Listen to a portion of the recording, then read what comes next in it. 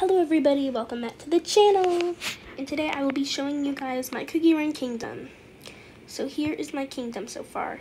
So here's where all of the production is made with the buildings.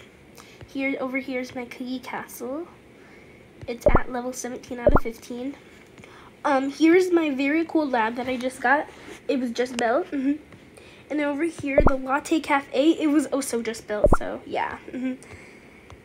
Here's some more buildings. Here are my houses, my cookie houses. And then uh, now I'm going to show you, these are all of my cookies. And the ones that are like in gray, these are the ones I don't have. And these are all of the ones I have.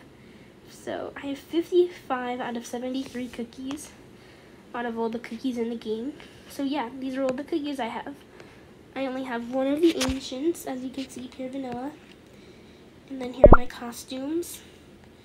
I don't have really many of my costumes, but the Witch's Fatally right the Witch's Fatally Sweet Night Out Latte Cookie is one of my favorite costumes so far. So yeah. Now we're going to go to my guild.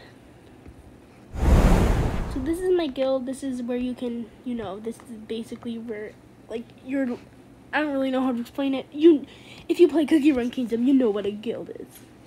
So um here's the Dark Cacao area that that they made.